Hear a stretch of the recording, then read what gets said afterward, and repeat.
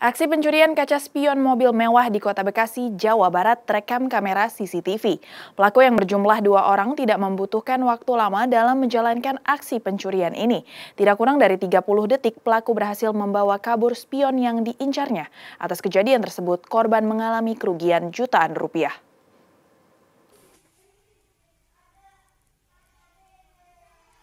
Dalam rekaman CCTV yang dipasang di rumah warga di Jalan Banteng, Ranji, Bekasi Barat, Kota Bekasi, Jawa Barat, terlihat dua orang pelaku menggunakan satu sepeda motor melakukan aksi pencurian spion mobil mewah. Dalam menjalankan aksinya, salah satu pelaku menunggu di sepeda motor, sedangkan pelaku lainnya langsung menuju mobil incarannya yang sedang terparkir di depan rumah.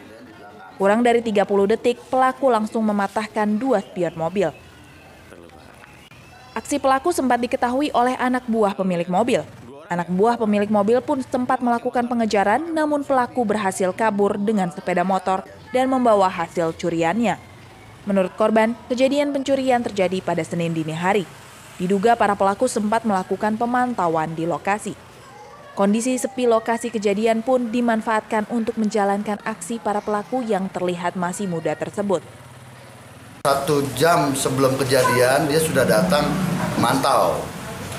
Untuk lihat kondisi keadaan ke wilayah di sekitar apakah aman atau tidak ada orang atau tidak. Nah setelah satu jam kemudian dia balik lagi metik.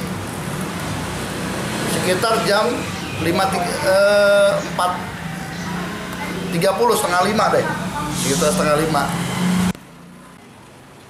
Aksi pencurian bukan pertama kali terjadi di lokasi ini. Bahkan, korban sudah empat kali kehilangan kaca spion. Atas kejadian pencurian kaca spion ini, korban mengalami kerugian 6 juta rupiah.